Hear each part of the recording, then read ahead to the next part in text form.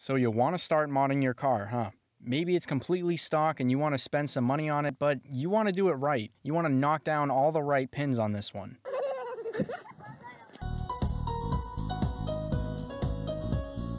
Well, today I'm going to tell you about the top 7 mods for American muscle cars, but they also work perfectly on sports cars like Corvettes. Let's get into it.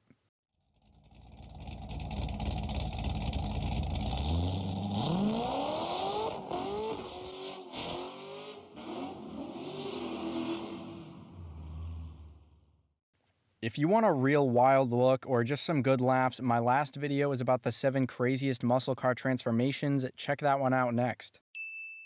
Getting right into number one, we have Wickerbill spoilers. Most of the time you'll see these on Camaros, S550 Mustangs, and maybe a Charger or Challenger. A great aggressive lip adds so many angles and curves to the back of the car, this is one I highly recommend. If you already have a spoiler on the back of your car, you might not have to do any drilling at all because the bolts might already line up. If not, you're probably going to have to do some drilling into the trunk lid, but I definitely say it's worth it.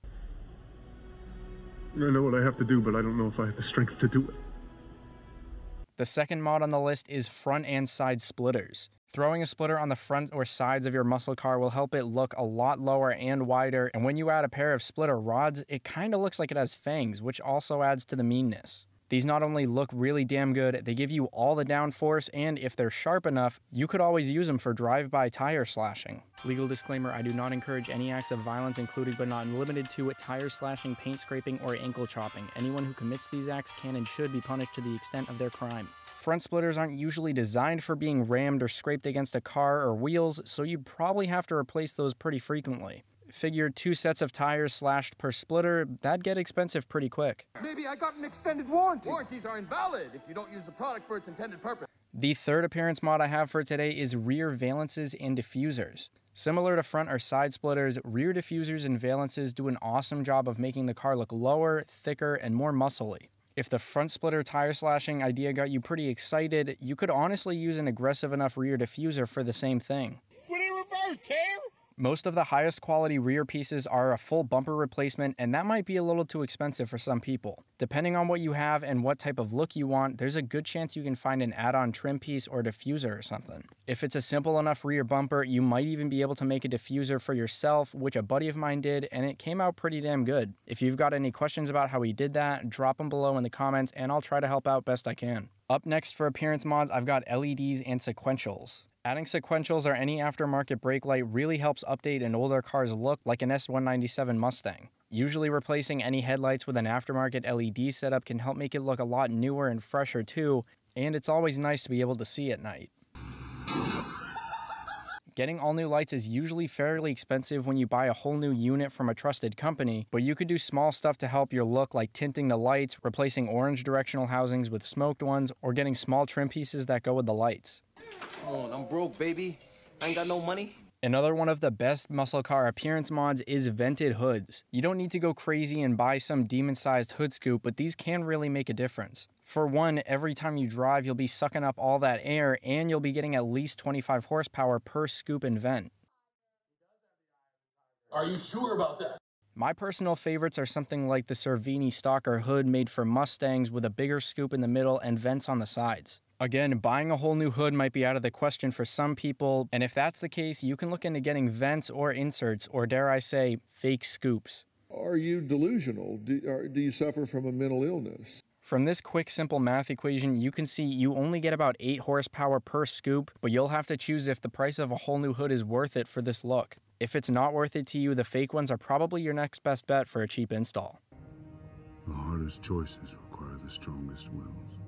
The second to last best mod for American muscle cars is carbon fiber. I actually think I'd have some limit about how much carbon fiber is on my car, but it'd be hard to argue against someone being fully fibered out. Real carbon fiber parts can be pretty expensive, but even carbon fiber skinning yourself seems kind of fun and interesting to learn, so that could be a good alternative. You can buy a large sheet of the fabric for about 30 bucks and resin for maybe 70ish depending on what your project is. Once you know how to do it, you can go around and carbon fiber everything in sight if that's what you really want.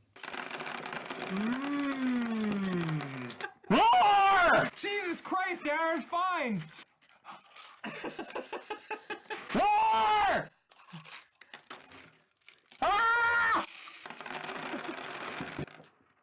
The final appearance mod I have for today is wheels and fitment. Personally, I don't really like when people go overboard on this.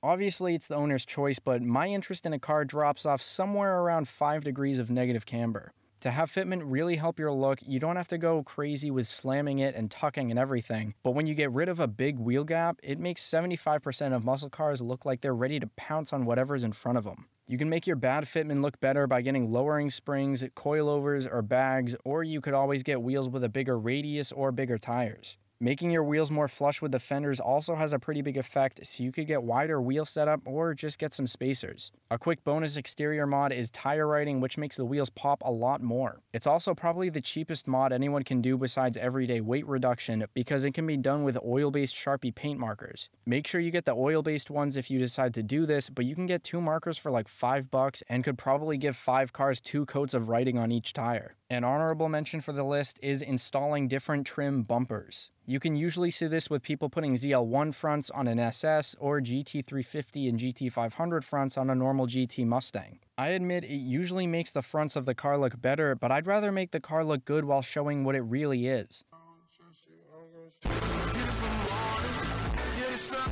I don't think everybody who does this is trying to be some poser so that people think they have a better car than they actually do, but I do have one problem with seeing this. I think it's kind of messed up when I see people buy a V6 and then they put thousands of dollars into getting all new bumpers, lights, hoods, and wraps when they really could have bought the V8 for the same amount of money. Not everybody buys these types of cars because they want a big V8 muscle car, but I feel like it'd be really hard to have any amount of looks beat the sound of a V8. There you have it. Those are the top 7 appearance mods for muscle cars. Let me know what you think of the list and how many of these you've already got or want. I say these are for American cars, but honestly, I like how they look on most cars. I even like most of these on JDMs and Germans, but I'd say they work best on American muscle. As always, if you enjoyed this video, tap that like button below and subscribe to Liberty Drives for American car content and news. Thank you very much for watching. I really do appreciate you guys. I'll see you next week. Have a great day.